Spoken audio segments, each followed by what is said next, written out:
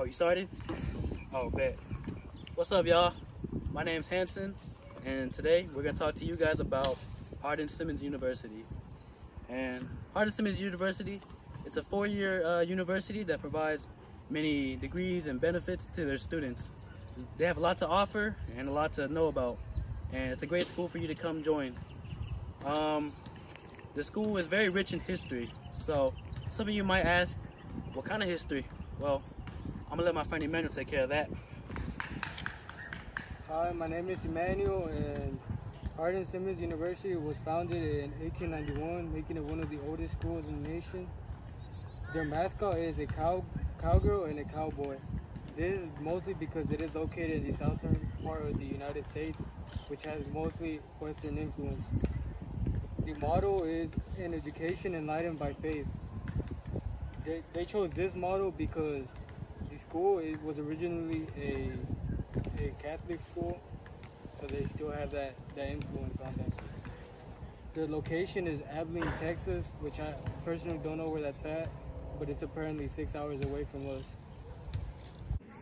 Hardin Simmons University is a great college. It's a four-year university, so that means you have four years to live the best of your life.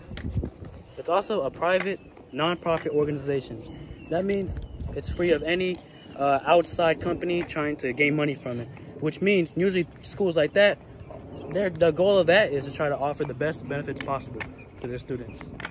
And the graduation rate is a 49%, which is better than most colleges can offer. And the acceptance rates, guess what, is 91%. That means it's one of the easiest colleges to get into. No matter your GPA, how much money you have, it doesn't matter. Most of the times it'll be easy to get into. The average annual cost of the school is 20000 Now, typically, one would agree. Go Cowboys! Rolling.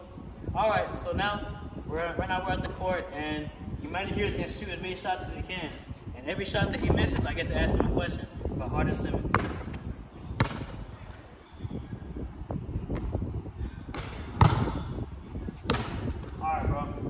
So how many students are attending uh? Currently, Hardin Simmons has 8,100 students attending, which isn't that bad for a college like that.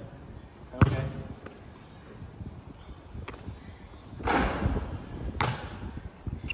All right.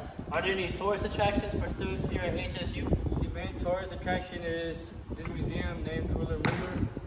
It's near the campus and it, offers many um, many opportunities for like art students. It has many sculptures, paintings, and drawings that interest a lot of art students.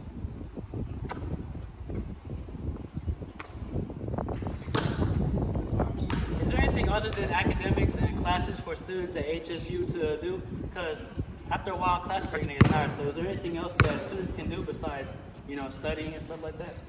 HSU offers many extracurricular activities. For example, basketball, they have a basketball team that has many players in it. They also have a soccer team, which is another popular sport. They also have football, which is probably like one of the most popular, if not the most popular sport here in Texas. They also have cross country and golf.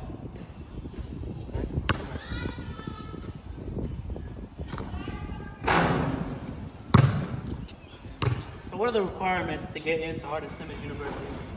Hardin Simmons has a few requirements.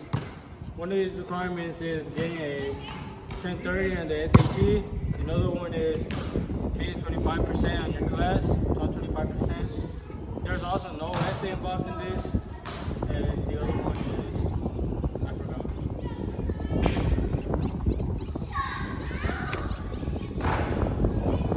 All right. So this last question is a very personal question I have for you, Emmanuel. So when you go, if you were to go to Hardin Simmons University, what would you major in? What degree would you go for?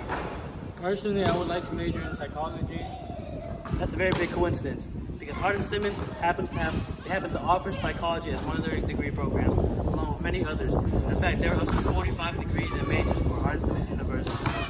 All right, now let's end this football.